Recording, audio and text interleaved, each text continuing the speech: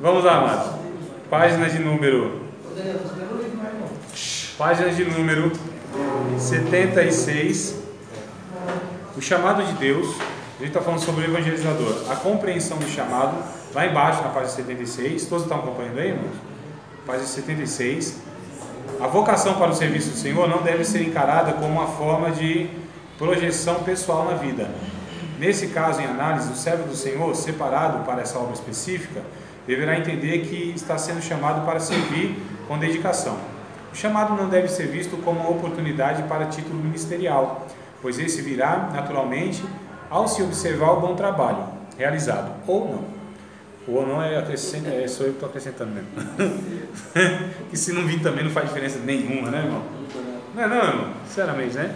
Nenhuma. Não desprezando o chamado ministerial no sentido reconhecido administrativamente, não é isso que a gente está falando. Mas essas coisas são um detalhe que na verdade não importa em nada. tá certo? Então, quem é, faz alguma coisa na igreja numa perspectiva, numa expectativa, num vislumbre de galgar alguma posição ministerial, título e etc., ele já está motivado pela coisa errada. Tá certo? Sua motivação, ele pode fazer coisas certas pela motivação errada. Olha que coisa perigosa. Fazendo o que é certo com motivação errada. E o que Deus julgará? O que fez certo? Não, motivação errada. É o que diz Hebreus capítulo 4, versículo número 12, não é?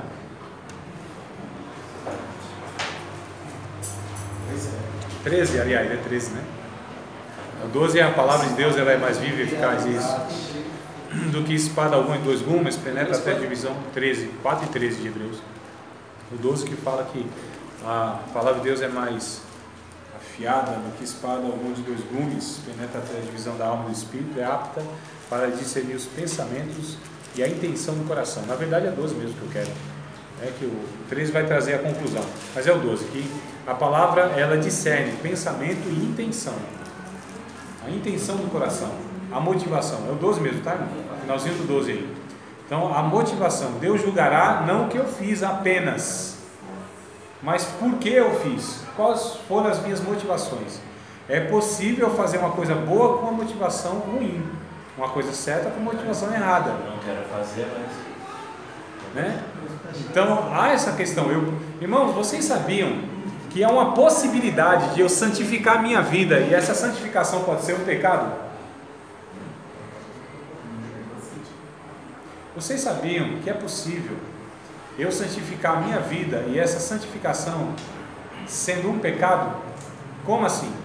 Quando a pessoa ela quer se santificar, consagrar muita vida, ter vida de oração, mas ela coloca isso, inclusive, nela como sendo algo para mostrar para os outros que ela é melhor, mais santa, ora mais, tem comunhão com Deus, etc. Aquela, né?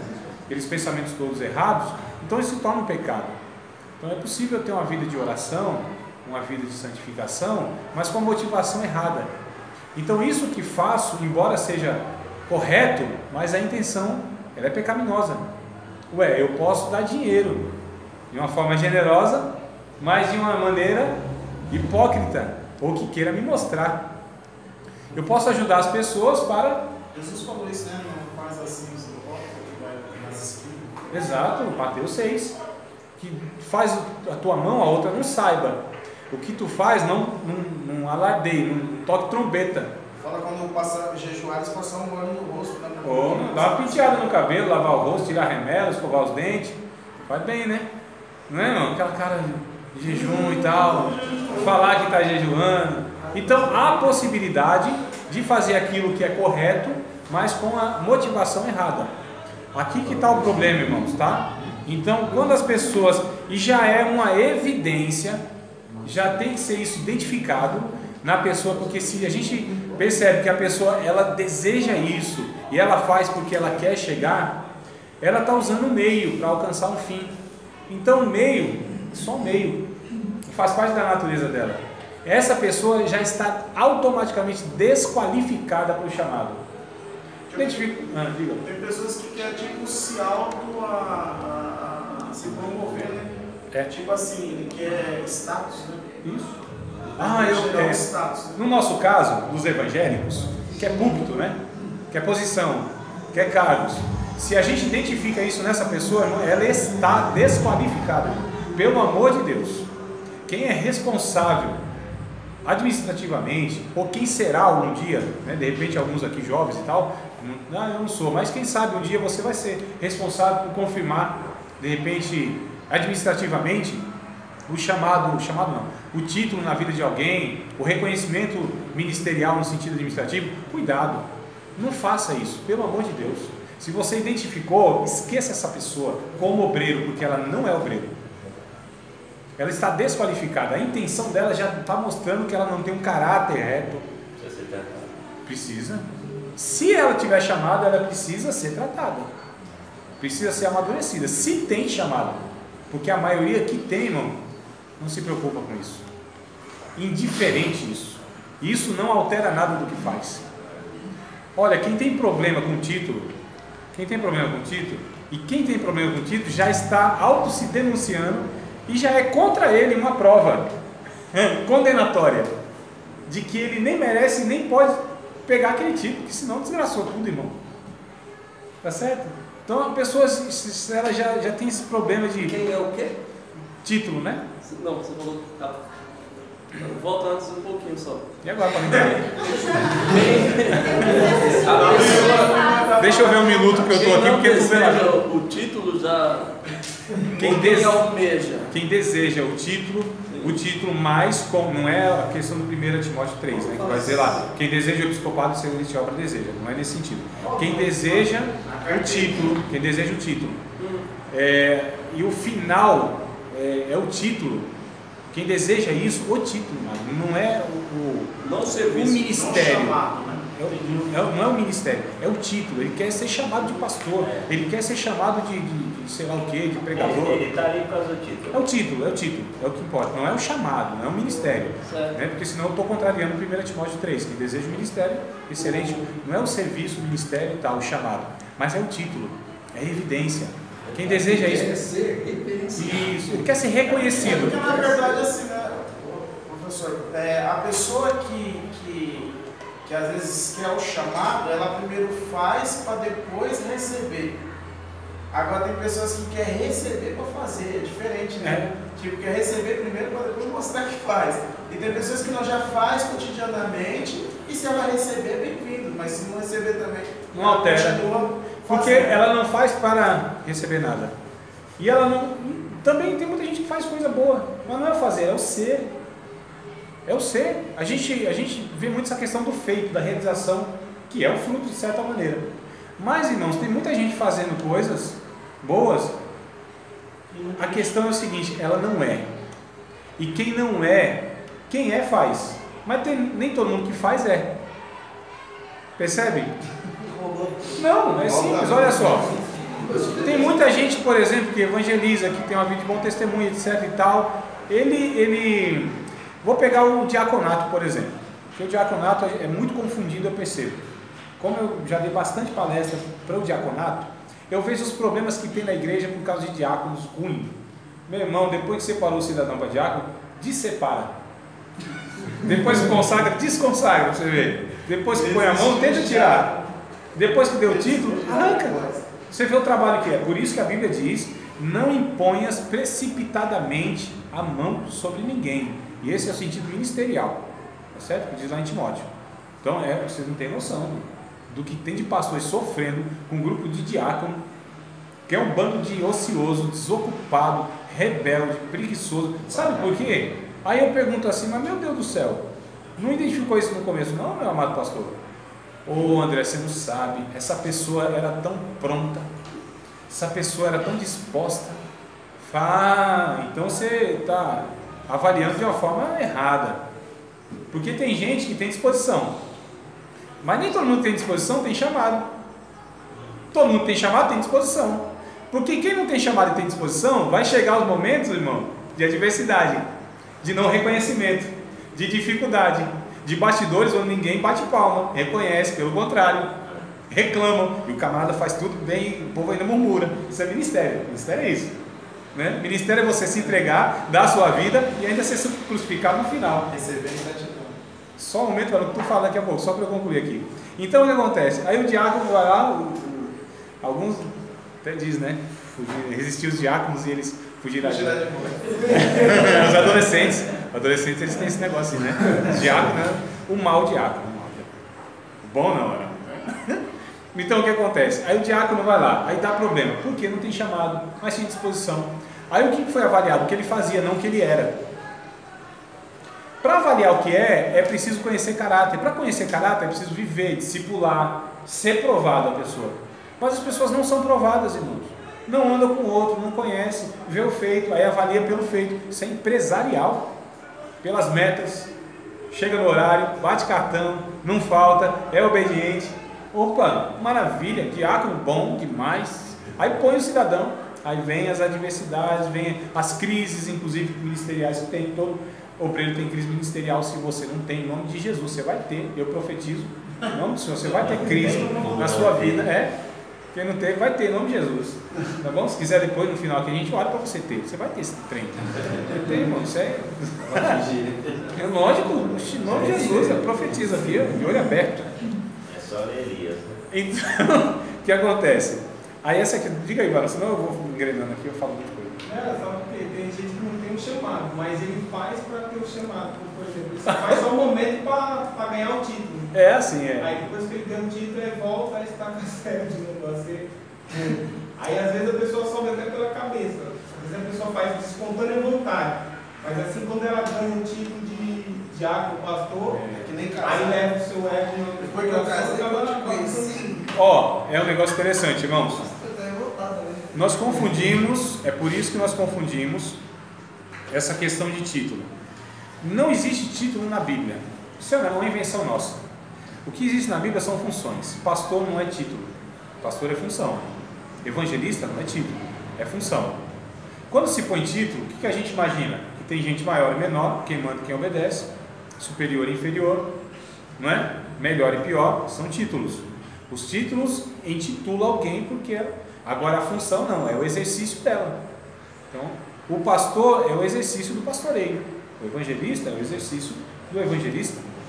O diácono é o exercício do diaconato. Então a gente confundiu funções com títulos. Tanto é quem, quem tem função, ele não precisa de título, ele é. E aí, como o senhor falou, bem falado, é identificado que a pessoa, ela não só faz, ela é. Quantas pessoas são chamadas de pastores, por exemplo, e administrativamente ainda não são? Mas ela já é, irmão. E o reino de Deus é assim. Você é. Porque você é, é natural que você exerça aquilo. Porque é a sua função chama. vocacional. E aí eu faço. E aí se vir um título ou não, não, não altera nada. Por exemplo, se me tirasse hoje o, o título que me deram, o que, que isso alterar na minha vida, André? Nada. Antes de ter o título, eu fazia alguma coisa diferente? Não, continua fazendo a mesma coisa. Mesma coisa, irmão. Sempre ensinei, sempre gostei de estar com gente, sempre, sempre, sempre, desde o que eu me entendo por crente. Não é nem por gente, é por crente. Tá certo? Diga aí, mano. É tão interessante isso que o apóstolo Paulo, quando ele ia se apresentar às igrejas, ele colocava primeiramente o nome dele, né? Você vê que ele colocava Paulo, depois ele colocava apóstolo. Ele colocava tipo o nome dele com mais, com mais visto, com mais lembrado ao povo. É, não colocava é, o título primeiro, né? É, Porque tem uns que se não chamar pelo título, meu irmão, já sabe que dá pepino, né? Já chamamos um pastor e pastor bispo. Amados, isso aí a gente já discutiu na teologia pastoral. Nós já discutimos na teologia pastoral essa questão que é confundido. E as pessoas. é Inútil. É, também. Mas nós discutimos essa questão na teologia pastoral, é, que é o seguinte: as pessoas elas não se relacionam com fulano, se relacionam com o título que o fulano tem. E aí é um negócio hipócrita, é um negócio terrível, é um negócio perigoso, porque são relacionamentos é, escusos, são relacionamentos falsos, né, interesseiros. Então aí você vê o tratamento diferente. Trata-se um diferente do outro. Por que eu não trato a pessoa? Eu trato o título dela. Vocês entendem? Posição. E, eu, essa, e aí a pessoa muitas vezes não tem autoridade, mas ela tem um título. Por que, que a pessoa obedece a outra? Porque ela tem poder. A diferença de poder e autoridade nós discutimos também na teologia pastoral. Eu não vou falar tudo isso aí de novo, né? Deu trabalho lascado para falar em oito aulas. Mas a questão é, então o, o evangelista, a pessoa que faz, ela faz por quê, irmãos? Porque para ela faz parte da sua natureza evangelizar, compartilhar Cristo. Não é por outro motivo, tá certo? E aí diz assim, ó, assim o sucesso do seu trabalho não será medido pela visibilidade sobre ele ou quantidade de pessoas que entrará, mas será visto por sua dedicação e empenho na obra do Senhor e no cuidado e amor demonstrado pelos perdidos. O seu sucesso será reconhecido à medida que for obediente a Jesus e ao ministério que está inserido, pois na verdade não é o evangelizador quem ganha as pessoas para Jesus, é apenas instrumento. Quem convence o pecador é o Espírito Santo e quem salva é Jesus. Então eu acho interessante essa questão. Primeiro que a compreensão desse chamado, ele não é medido, olha só, o sucesso, melhor dizendo, desse chamado não é medido pela, pelos feitos, pela realização. Quantas almas você ganha? Quantas almas eu ganhei? Número é para Deus, irmão. Esse negócio de, eu vejo de Facebook, tantos aceitaram Jesus. Por que, que só não colocou que houve gente que aceitou Jesus? Pessoas que se arrependeram, aceitaram Jesus. Número é para Deus, irmão. Eu conheci um camarada O número cresce o coração. que eles, ele foi querer assim saber de fato o número. Ó, oh, é adivinhação, cuidado, estou brincando. Então, ele foi, e o profeta disse: Não faça isso, não. Não, eu quero saber o número do exército. Irmãos, foi uma complicação tão grande para esse cidadão e ele lascou a vida de muita gente só por causa desse desejo de querer saber o número. Para que número, irmão? Quantas almas, quantas almas aceitaram na minha pregação? Quanto faz? Eu não quero saber. O que isso importa? Quantas pessoas foram batizadas com o Espírito Santo? E daí, irmão? Eu quero, quantas pessoas assistem a minha aula? Quanto mais pessoas eu puder alcançar, louvado seja Deus, aleluia! Dá um Depois pedaço de bolo. ora lá depois pelo povo. Tem que falar mais alto aqui, vocês conseguem prestar atenção em mim? Conseguem?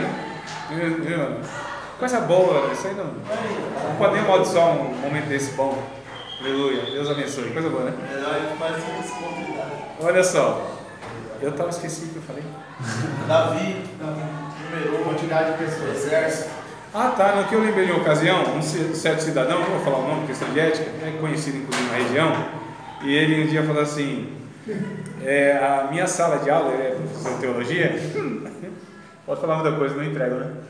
Ele falou assim: minha, minha sala de teologia tem mais alunos do que muitas igrejas aí e tal. Mas eu vi assim, eu, eu senti um cheiro de Lúcifer, né? Quando ele falou.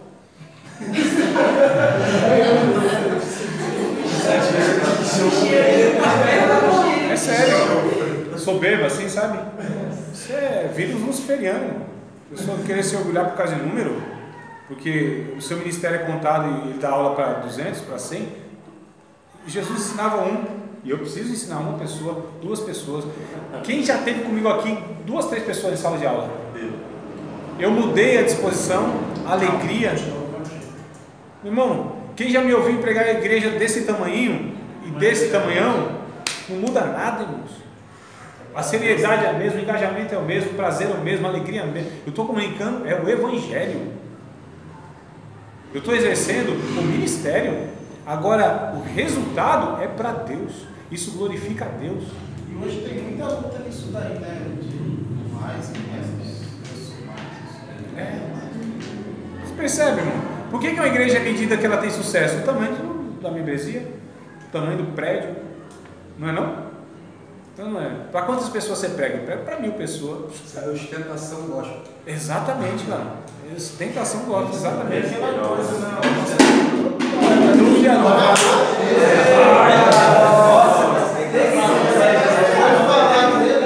Olha o inimigo furioso aí. Tava lá em cima do coisa, Carol. Esse é a Carol. Ah, Olá, mano. Eu dar- Então precisa estar muito resolvido isso, sabe por quê, irmão? Por um lado, eu estou falando desse aspecto, por outro lado, eu quero falar do seguinte: porque quem se empenha nesse negócio de evangelizar, ele fica frustrado quando ele começa a evangelizar e ninguém aceita Jesus. É? Já pensou a frustração? Aí se empenha e tal, e não sei o que, faz dois anos que eu estou evangelizando, tentando falar de. E ninguém se converte. Eu escutei hoje do Ronaldo Lidório, ele dizendo que havia, ou ainda há, né, não lembro, se havia, não sei se foi algo passado, se ainda isso, esse casal, esse grupo, esse missionário, ele ainda está vivo e se ainda está acontecendo isso aí. Mas passaram, eu acho que foi na Gâmbia, na Gâmbia, lá na, na África, né? Na Gâmbia.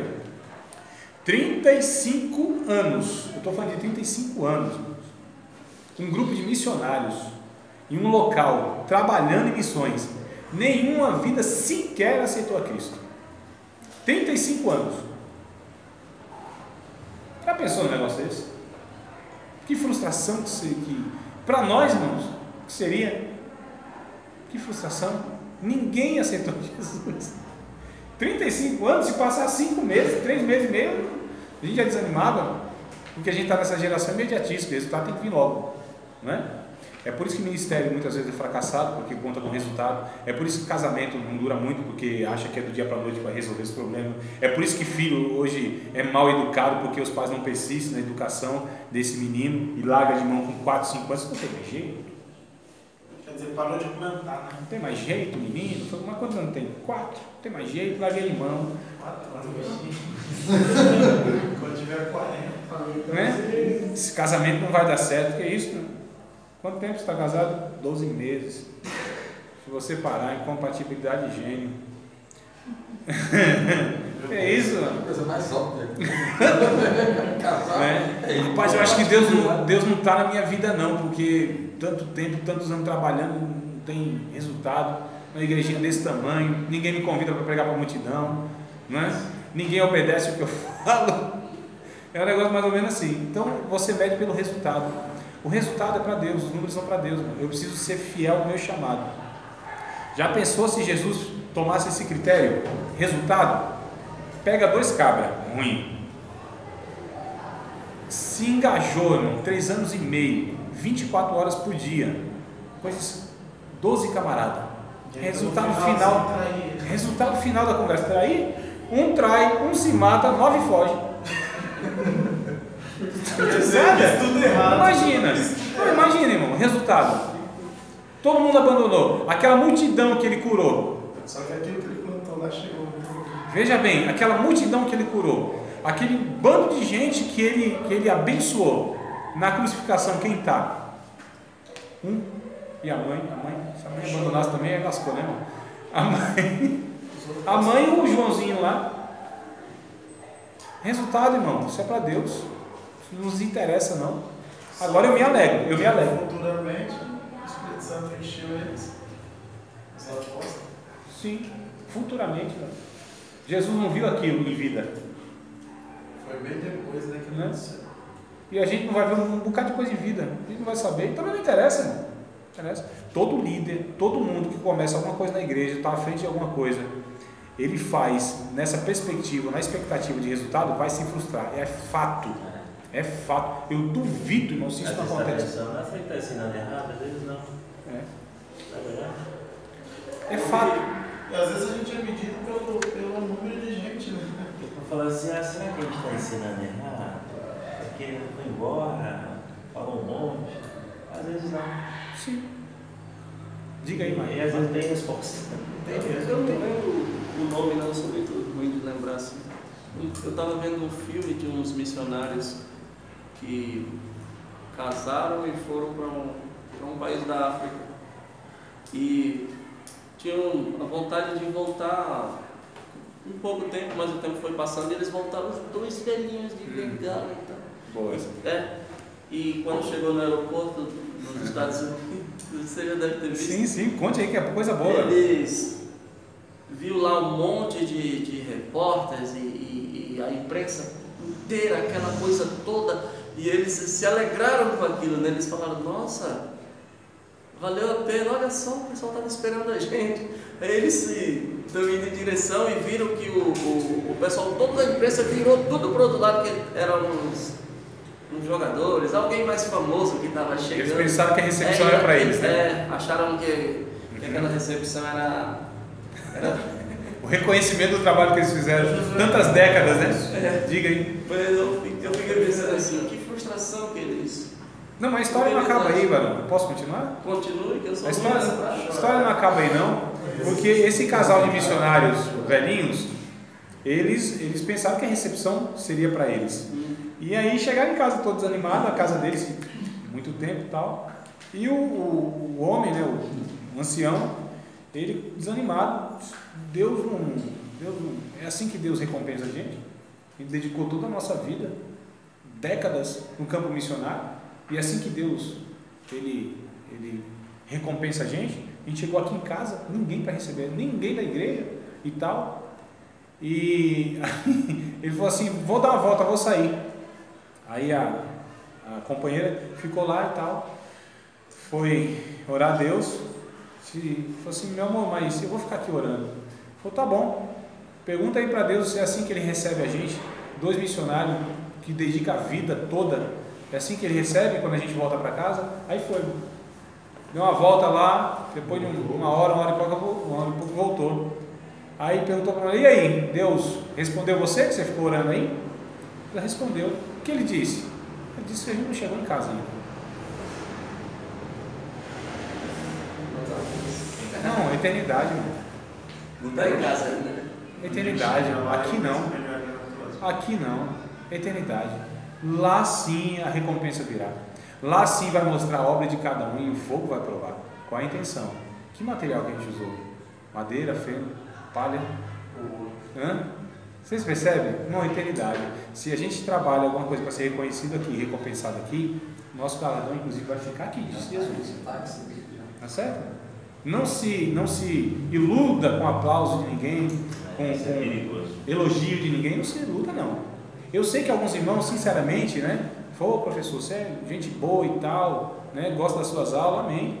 Louvado seja Deus. Tem gente que é sincera, eu sei. Mas eu não me iludo com isso, não. Porque eu- é possível que se eu vacilar em alguma coisa, talvez essas pessoas vão ser a primeira a dizer assim, crucifica. eu sabia, esse camarada ele não enganava, nunca me enganou. né? Hipócrita e tal. É assim que a igreja trata quem peca ou não é? Quem é que trata? Aqueles que bajulavam, aqueles que elogiavam, aqueles que. Então, irmão, não se iluda com elogio de ninguém. De ninguém. Tá certo? O, acho que foi Moody, um dia que ele estava pregando, aqui eu encerro a aula, ele estava pregando, Moody lá, o grande evangelista, e aí ele des... pregou o sermão tal, né, aquela coisa toda. Aí ele desceu do púlpito, alguém falou assim, Moody, nossa, tua mensagem assim foi excelente, coisa linda, nunca vi uma mensagem dessa. Ele falou, não irmão, pode deixar, porque o diabo já falou isso na minha orelha também. Cuidado com esse negócio, não. Esse elogio é complicado, isso vai, vai descendo, vai enchendo nosso coração e a gente vai perdendo foco, né? Vai perdendo toda a É missão. esperar.